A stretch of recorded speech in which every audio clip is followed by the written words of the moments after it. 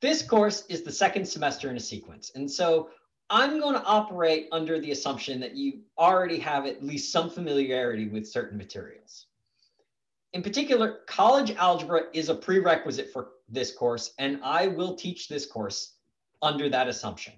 I'll often skip over basic algebraic steps at the end of problems during class for you to fill in later. For example, I will go from 9x plus 3y equals 6 to y equals minus 3x plus 2 and expect you to be able to, to fill in the algebraic steps in between. If the step is particularly tricky, I will review it, and you are welcome to ask any of the TAs via private chat during uh, class or using the help forum or during one of the help sessions on Zoom. If you'd like a little practice drill on algebra, there's a set of problems uh, on Moodle and their solutions from matthewc.com.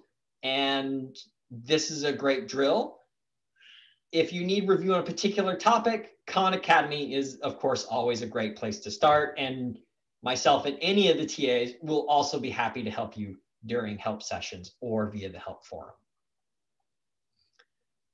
Like I already said, Physics 131 is a prerequisite for this course, and we will build on some of those ideas. In particular, we'll be using the ideas of forces and Newton's laws, energy, both potential and kinetic, and some of the mathematical tools like symbolic manipulation and vectors.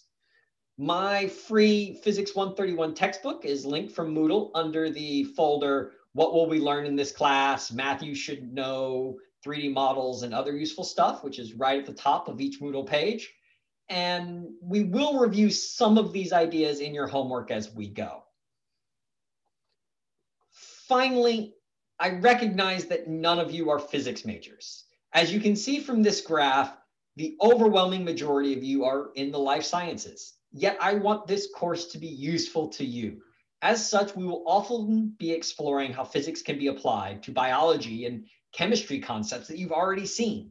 I want you to bring your expertise in these subjects, which is undoubtedly better than mine, to class.